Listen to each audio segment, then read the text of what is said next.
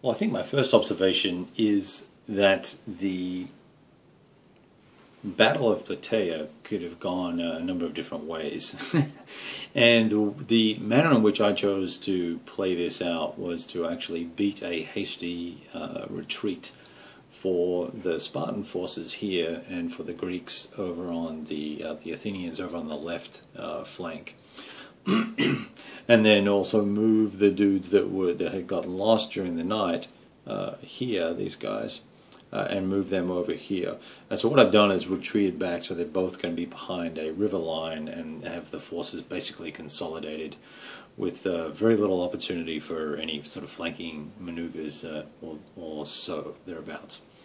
Um, what that has meant is uh, now on the eighth turn of the game, and we still really haven't had any meaningful combat.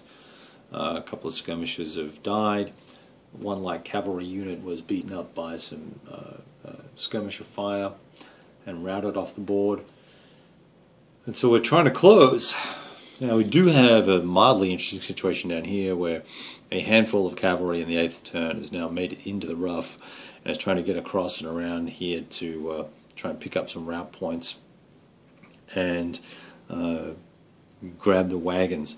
And I had forgotten about them and, uh, as the as the uh, uh, Athenian or the Greek player really had meant to be moving them, but every time the momentum chip came up, I took an opportunity to roll for it to try and get these Spartans uh, flipped over or maneuvered or an extra move or to uh, recover cohesion hits.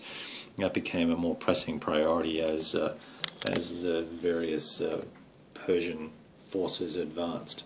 So uh, there's the, the, current situation. It's uh, taking a long time to get into the battle, primarily because I chose not to stand and fight, but to retreat and consolidate my forces. Uh, probably a smart move, all in all, uh, but uh, it's certainly making the game take a lot longer to get started. the actual meat of it to commence. All right, we'll talk to you soon.